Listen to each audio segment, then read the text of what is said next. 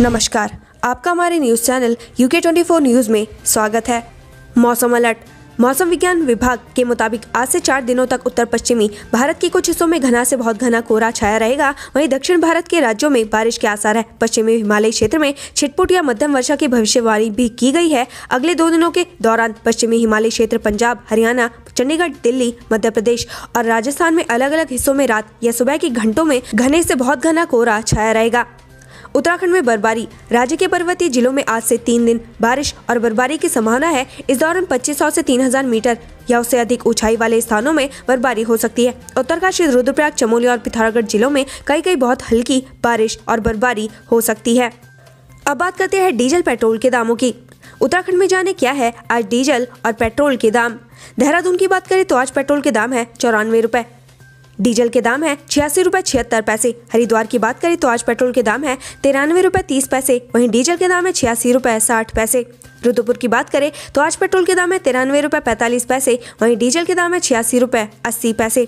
हल्द्वानी की बात करें तो आज पेट्रोल के दाम है, तिरानवे रुपए सत्ताईस पैसे। वहीं डीजल के दाम है, छियासी रुपए साठ पैसे। जानिए आज देश और प्रदेश में क्या कुछ रहेगा खास। सीसीईए की बैठक। केंद्रीय मंत्रिमंडल और आर्थिक मामलों की मंत्रिमंडलीय समिति आज दिल्ली में बैठक करेगी। दरअसल प्रधानमंत्री मोदी अलग अलग मंत्रियों को समूह में बुलाकर उनके मंत्रालय के कामकाज की समीक्षा कर रहे हैं। इन बैठकों में गृह मंत्री अमित शाह और भाजपा अध्यक्ष जेपी नड्डा भी मौजूद रहते हैं। बीजेपी केंद्रीय पार्लियामेंट्री बोर्ड की बैठक उत्तराखंड विधानसभा चुनाव के लिए बीजेपी प्रत्याशियों पर आज फैसला होना है। नई दिल्ली में बीजेपी की केंद्रीय पार्लियामेंट्री बोर्ड में सभी सीटों के लिए भेजे गए पैनल पर चर्चा होगी और उसके बाद उपयुक्त प्रत्याशी पर मोहर लग जाएगी। पार्टी की पहली सूची आने की उम्मीद भी है। सीएम पुष्कर सिंह धामी भी बैठक में मौजूद रहेंगे। गोवा के लिए आप घोषित करेगी सीएम चेहरा। उत्तराखंड और पंजाब में आम आदमी पार्टी के सीएम चेहरे की घोषणा के बाद आज पार्टी के राष्ट्रीय संयोजक और दिल्ली के मुख्यमंत्री अरविंद केजरीवाल गोवा की राजधानी पणजी में प्रेस कॉन्फ्रेंस के दौरान मुख्यमंत्री उम्मीदवार की घोषणा करेंगे। नीट यूजी काउंसलिंग एआईक्यू का पहला दौर आज से शुरू होगा और राज्य कोटे के लिए काउंसलिंग 27 जनवरी 2022 से शुरू होगी। इसके लिए बाद अन्य राउंड की प्रक्रिया पूरी की जाएगी। काउंसलिंग के लिए लिंक एक्टिवेट होने के बाद उम्मीदवार mcc.nic.in पर जाकर रजिस्ट्रेशन कर सकेंगे। जहाँ डिटेल्स भरने के बाद रजिस्ट्रेशन के लिए फ़ीस पेमेंट करना होगा, फिर काउंसलिंग प्रक्रिया शुरू की जाएगी। Team India versus South Africa. भारतीय क्रिकेट टीम आज से तीन वनडे सीरीज़ साउथ अफ्रीका के खिलाफ खेलेगी। टेस्ट सीरीज़ की हार को भुलाते हुए के राहुल की कप्तानी में भारतीय टीम नई शुरुआत करेगी। के राहुल के साथ ओपनिंग शिखर धवन करेंगे। सरिता आर्य ने किए गोलू देवता के दर्शन, मांगी बीजेपी की जीत की दुआ, कांग्रेस को बताया महिला विरोधी। भारतीय जनता पार्टी का दामन थामने के बाद नैनीताल की पूर्व विधायक सरिता आर्य नैनीताल के गोलू देवता मंदिर पहुँची। गोलू देवता के दर्शन करते हुए उन्होंने 2022 में बीजेपी की जीत की प्रार्थना की। साथ ही यशपाल आर्य व कांग्रेस पर महिला विरोधी होने के आरोप भी लगाया।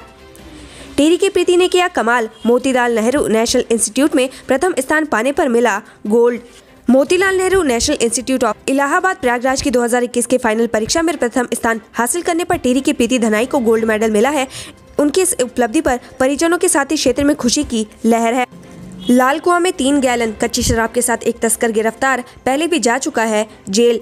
लाल कोकोतोली पुलिस ने एक शराब तस्कर को गिरफ़्तार किया है। तस्कर बिना नंबर प्लेट की कार से शराब की तस्करी कर रहा था। मौके पर कार से तीन गैलन कच्ची शराब बरामद किया गया है। वहीं आरोपी को जेल भेज दिया गया है।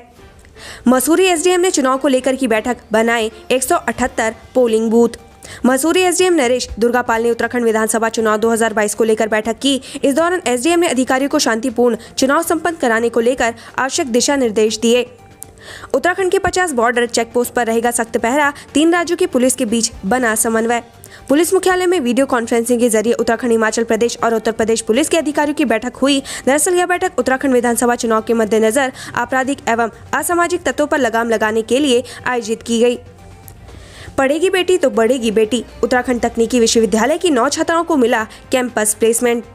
उत्तराखंड के गरीब घरों के नौ मेधावी छात्राओं को सुनहरा भविष्य मिला है। उत्तराखंड तकनीकी विश्वविद्यालय के वुमन इंस्टीट्यूट ऑफ़ टेक्नोलॉजी से पढ़ाई करने के बाद इन छात्राओं को कैंपस प्लेसमेंट के तहत नौकरी मिल गई है। ये छात्राएँ उत्तराखंड के दुर्गम इलाकों की हैं। इनके परिवारों की आर्थिक स्थिति कमज़ोर है। स्मैक अवैध शराब और चाकू के साथ पाँच लोग गिरफ़्तार, मुकदमा दर्ज। विधानसभा चुनाव को देखते हुए लक्सर पुलिस लगातार नशा तस्करों के खिलाफ कार्रवाई कर रही है। इसी क्रम में कोतवाली पुलिस ने अलग अलग मामलों में पाँच लोगों को गिरफ़्तार किया है। Uttarakhand assembly election. आपका वर्चुअल रैली में 40 लाख लोग जुड़ने का दावा। सेकेंड फ़ेज़ जल्द। उत्तराखंड आपने डिजिटल नव परिवर्तन संवाद के तहत वर्चुअल रैली के पहले फ़ेज़ में 40 लाख से अधिक लोगों को जोड़ने का दावा किया है। डिजिटल नव परिवर्तन संवाद 10 से 18 जनवरी तक लगातार चला था। चेकिंग के दौरान कार से बरामद किए सात लाख रुपए जाँच में जुटी पुलिस। विधानसभा चुनाव को लेकर उत्तराखंड पुलिस ने बॉर्डर पर सख्ती बढ़ा दी है। डीआईजी और एसएसपी के निर्देश पर चलाए जा रहे अभियान के तहत रुद्रपुर पुलिस को सफलता हाथ लगी है, जिसके तहत सीमा पर चेकिंग अभियान चलाया जा रहा है। पुलिस ने पीलीभीत उत्तर प्रदेश की ओर से आ रही कार से सात लाख रुपए से भी अधिक की नकदी बरामद की है। पुलिस ने रुपए को जब्त कर अग्रिम कार्रवाई में जुट गई है। उत्तराखंड में मिले चार हज़ार चार सौ बयासी नए मरीज़, छह की मौत। उत्तराखंड में पिछले 24 घंटे में कोरोना के चार हज़ार चार सौ बयासी नए मरीज़ मिले, जबकि छह संक्रमित मरीजों की अस्पतालों में मौत हो गई। इनमें से पाँच मरीज़ देहरादून के अस्पतालों में भर्ती थे, जबकि हरिद्वार में भी एक मरीज़ की मौत हो गई। मसूरी एलबीएस अकादमी के चौरासी प्रशिक्षु अफसर संक्रमित।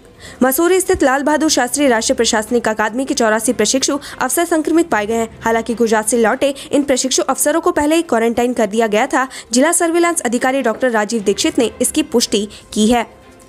नौकरी दिलाने का झांसा देकर किशोरी का अपहरण सत्रह वर्षीय किशोरी को नौकरी दिलाने का झांसा देकर एक व्यक्ति ने उसे कार में खींच लिया। अपहरण के बाद उससे छेड़छाड़ की। इस बीच मुख्य आरोपी और किशोरी को कार चालक ने बिधौली में उतार दिया और वह फरार हो गया। इसके बाद मौके पर किशोरी के साथ झगड़ रहे आरोपी को स्थानीय लोगों ने पकड़कर पुलिस के हवाले कर दिया। गंगोत्री यमुनोत्री के कपाट तीन मई को खोले जाएँगे। प्रसिद्ध बद्रीनाथ धाम के कपाट खुलने की तिथि बसंत पंचमी पर शनिवार 5 फरवरी को नरेंद्र नगर राजमहल में तय होगी। इस दिन गाड़ू, घड़ा यात्रा का दिन निश्चित किया जाएगा। गंगोत्री, यमुनोत्री के कपाट तीन मई को खोले जाएँगे। सौ बार माफ़ी मांगने के लिए तैयार हूँ। हरा हरक सिंह रावत कांग्रेस में वापसी करने के लिए अब बिना शर्त तैयार हैं। इसके लिए वो पूर्व सीएम हर्ष रावत से एक क्या सौ बार माफ़ी मांगने की बात कर रहे हैं। हरक का कहना है कि कांग्रेस में आ रहा हूँ। इससे बड़ी माफ़ी क्या हो सकती है? उत्तराखंड से संबंधित ऐसी ही खबरें पाने के लिए हमारे चैनल को लाइक व सब्सक्राइब ज़रूर करें। धन्यवाद।